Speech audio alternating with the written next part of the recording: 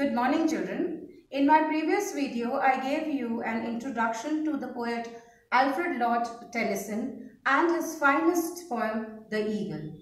In my today's lesson, I am going to explain you the first stanza of the poem.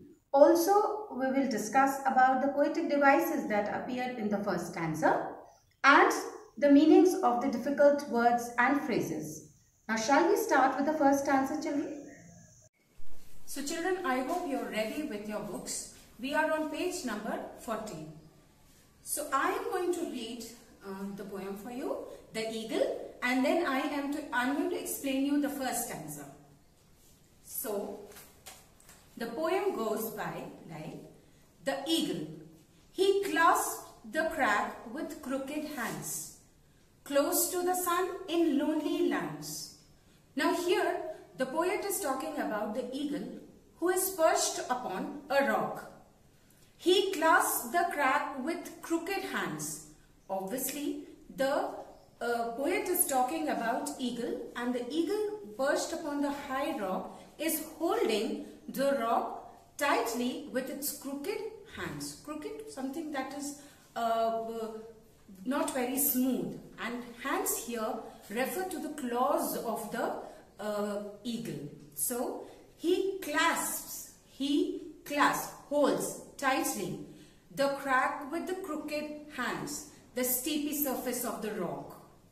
Close to the sun in lonely lands. Now, the, the poet says the bird, eagle, is sitting on a very high rock. So, that is why he says close to the sun.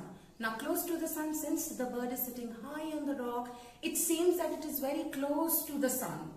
In lonely lands. Now, lonely lands means obviously we all know that eagle uh, is not mostly found in areas where like cities and towns. It, it, it, you always find eagle and its nest high up on the rocky mountains or trees and it lives away from the cities. So lonely lands away from the uh, cities and towns and uh, some a place which is far away from the habitat ringed with the azure world he stands ringed with the azure worlds, surrounded by the blue sky.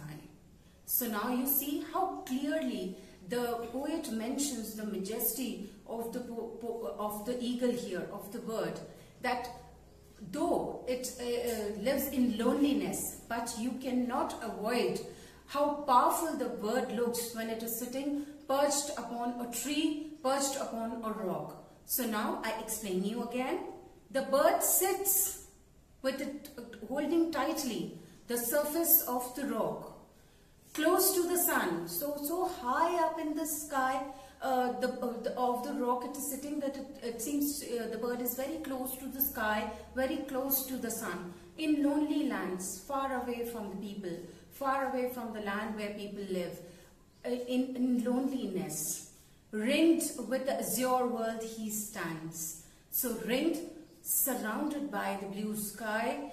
In solitary, the bird sits on the rocky mountain, on the, on the, on the steep surface of the rocks. So this is the explanation of the first stanza, children.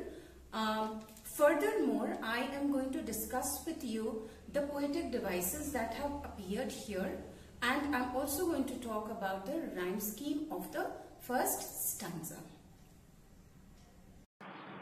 Let us now do the three lines in detail. The words clasp, crag, and crooked associate the eagle with age. Craggy, for instance, is still used to describe a lined, age weathered face.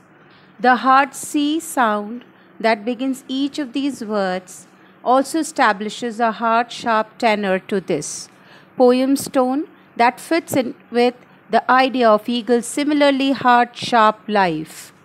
The repetition of the first sound is called alliteration.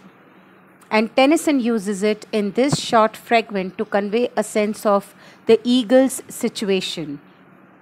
Tennyson settles it at the end of the line where he uses poetic technique of personification in talking about the eagle's hands when Tennyson makes the association of eagle's claws with human hands.